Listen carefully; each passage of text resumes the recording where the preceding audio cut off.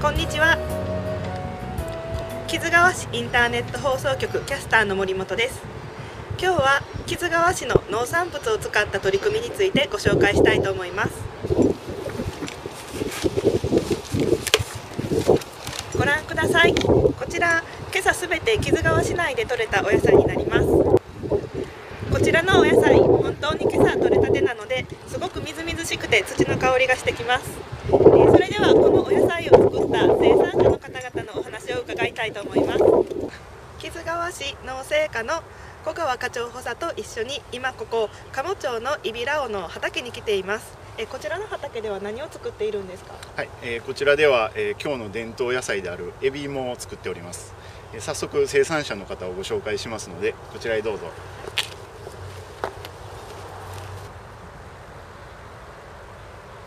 こんにちは。は。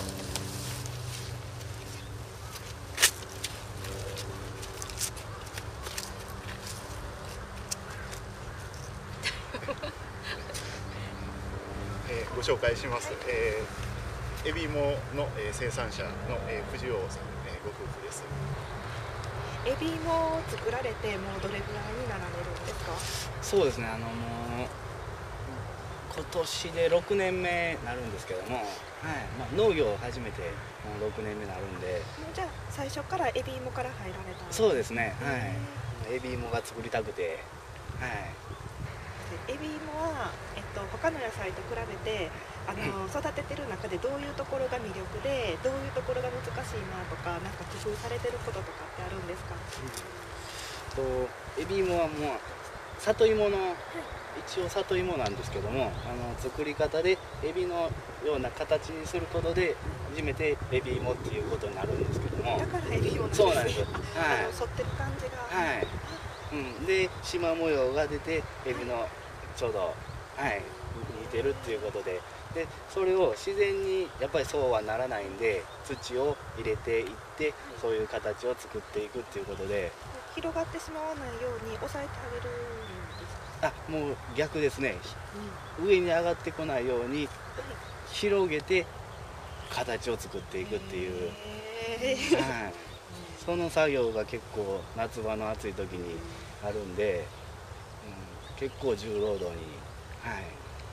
大きいのもすごい綺麗だしあの美味しそうな感じするんですけど、ちっちゃいのもすごいなんか。なんかねこっちはねこうキメがクッと固まったようなへまた食感が違うんですー大きいのとちっちゃいのだったらちょっと違うんです違うんですよ。大きい方はやっぱり柔らかいとろーっとした感じですね。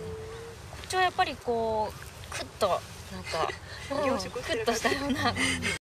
私たちはエビ芋に続いて大根の産地である梅谷地域に向かいました。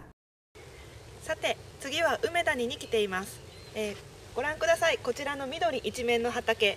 こちらすべて大根なんですよね小川さん。そうです、えー梅谷の特産の、えー大根です。見てください森本さん。立派な大根でしょ？すごいですねあの立派ですね。そうですね。じゃあこれを作っている今西さんのお話を伺いたいと思います、はい。お願いしま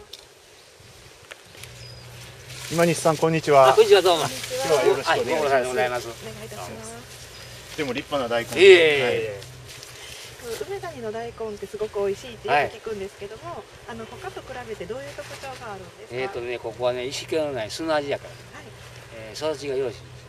もう邪魔するものがなくてからもうどんどんどんどん大きくなっていってくれてっていうことですね。この抜いたやつを見せていただいてよろしいですか、はい、はい、どうも。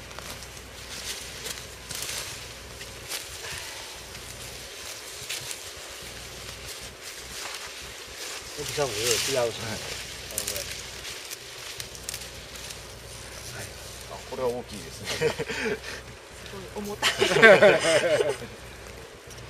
ぱりこの綺麗なそうです。肌にするのがはいやっぱり大変ですね、自分で育てておられていろいろあのお家でもいっぱい大根とか食べておられると思うんですけど、なんか一番好きなおすすめの食べ方とか私はもうおろしで。すね。あもうおろしで、はい。なんかもう炊いたりとかじゃなくておろしで、タイトもね、あれだけど、大体僕はいつもおろし、へかつ、かつおで。ー美味しいですよ、美味しいです。昔から梅田にやっぱり大根。そうですね、あ盛んなんの大根、大根に若松じゃがいも、はい。まあね。スイカスイカはい。私も大根引きに挑戦してみました。はいそれそれ。ちょっと抜けないか。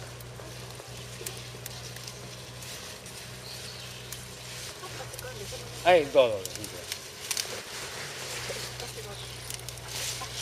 すごい軽いです。見てるのが。すごいね。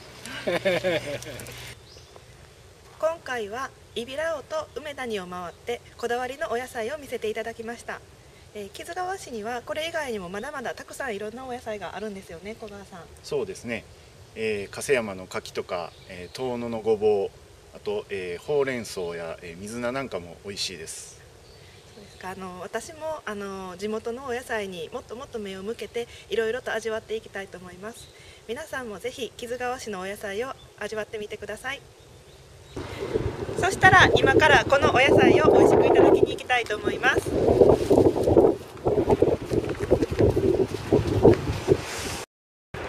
皆さん私は今観光客でにぎわうここ京都駅前に来ています。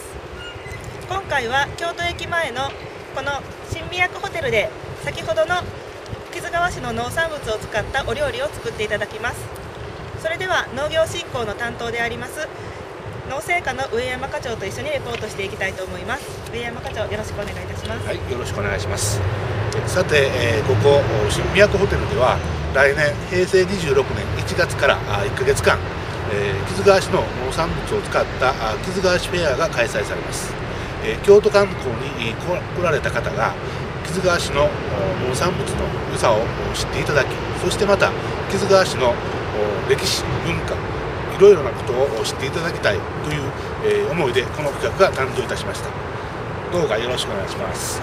そうですね。木津川市はあの国宝などの文化財もたくさんありますが農産物とかもあのそれに負けないぐらいの魅力がいっぱいありますもんね。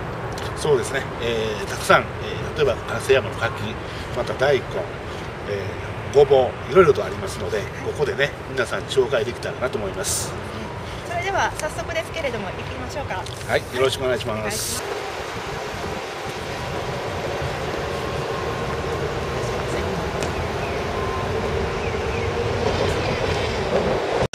今まさに厨房では木津川市のお野菜を使ったお料理を作っていただいているところです。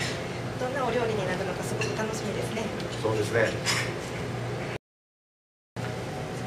ちらの,、あのお料理なんですけれども、何のお野菜を使っていただいてるんでしょうか、えーこちらはですね、えー、と赤かぶそれから小かぶ人参水菜の4点となっております。こちらのお野菜を使って料理していただく際のポイントはどういうところでしたでしょうか？そうですね。すごく味香りも濃厚なので、えーそのまま野菜の本来の味を引き出すために、えー切ったものをすぐに、えー甘酢のような感じの液体に漬け込んであります次はどんな料理が出てくるんでしょうね楽しみですね楽しみですね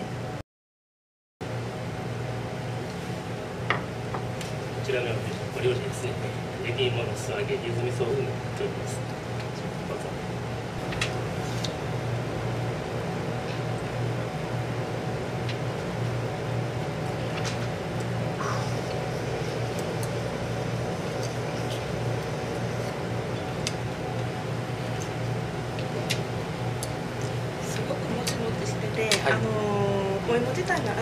美味しいんですけどあのほのかに柚子の香りがするのがすごくアクセントになっててすごく美味しいです、やはりあのエビ芋はちょっとこう和食風にあのした方がお味が引き出すんじゃないかなと思いましてそそして、えー揚げてございますので中はふわっと周りはカリッと仕上がっておりますのでそれとの相性もいいかというふうに思います。このように、えー揚げたてのエビ芋を食べるというのはあのなかなかないものであのこの九条ネギとの相性もバッチリだと思います。とても美味しかったです。こ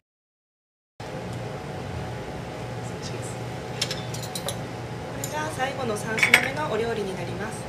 えっとこちらのお料理も美味しそうですね。そうですね。いろいろなんかあ木津川市のあの農産物が使われてるみたいで、えー、見た目もものすごく綺麗。そうですね。すごい楽しみですねすいませんこちらのお料理には、はい。あのどのお野菜を使っていただいてるんでしょうか？こちらはですね、はい。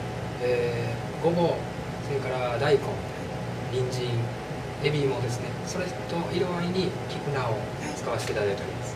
やはり根菜が主なもんで、えーごぼうなんかでしたらそのまま炊くよりもちょっと一遍油で揚げてから香ばしさを出して、えーお出汁と一緒に煮込んでおります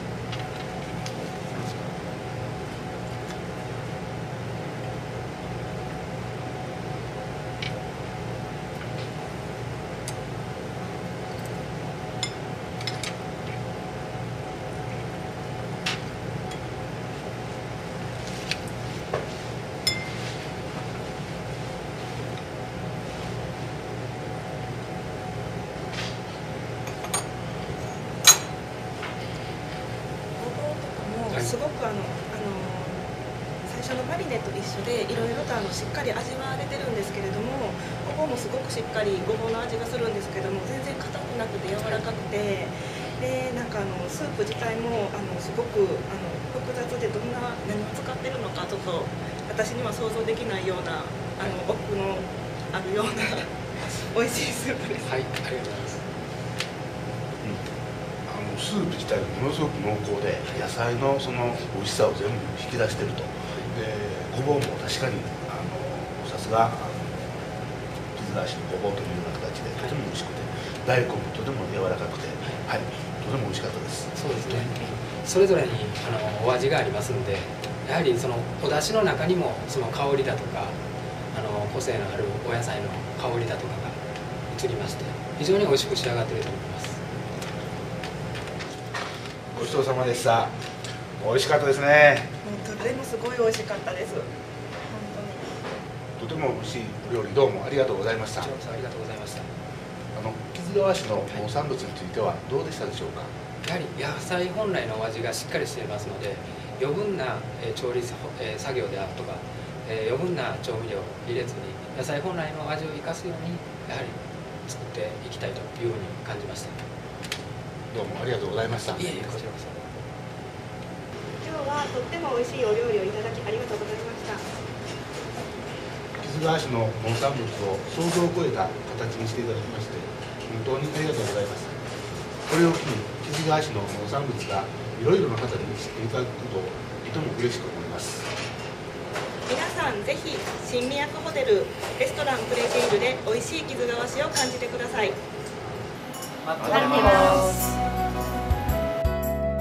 日のフードが育てた京野菜のエビ芋九条ネギや市の特産物として知られている梅谷の大根遠野のごぼうなど市内産の新鮮な野菜が新都ホテル木津川市野菜フェアのディナーメニューで使われています。今回のレポートで気づいたのは美味しい野菜は木津川市にあるということです。皆さんも市内産の農産物を積極的に食べましょう。